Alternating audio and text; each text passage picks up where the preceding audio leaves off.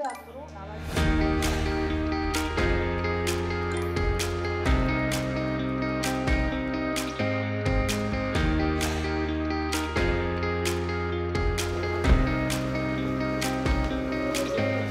제가 여기 오면서 이 행사에 대해서 제가 생각했던 말씀을 간단하게 어, 몇 줄로 드리겠습니다. 본인의 추억과 고민, 죽음, 그리고 사랑하는 가족들의 고난이 뻔히 예정된 길을 묵묵히 걸으신 선조들이 계시기에 지금의 우리가 있습니다. 흔히들 한 나라가 누구를 배출 했는지 못지않게 누구를 기억하고 있는지가 그 나라의 수준을 말해준다고 하는데요.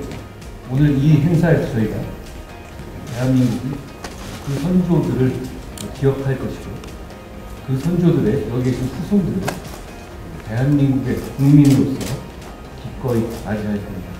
자신의 목숨보다 나라를 귀히 여기고 나라를 되찾기 위해서 빈골 퇴신했던 여러분의 선조들께 감사와 존경의 마음에서 유공자의 후손을 전 세계 곳곳에서 모셔서 대한민국 국민으로 함께 모실 수 있도록 지원하는 것이 국가의 책무이기도 합니다. 그렇기 때문에 법무부는 국가보훈처와 함께 후손분들을 찾아뵙고 대한민국 국적을 들여서 대한민국 국민으로서 이 땅에서 당당히 살아가실 수 있도록 최소한의 국가의 도리를 다하고자 합니다.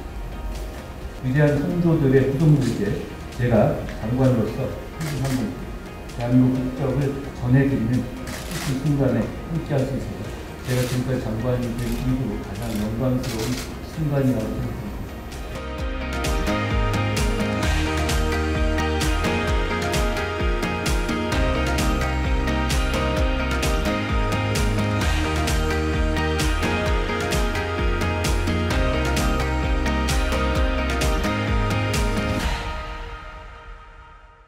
Nope.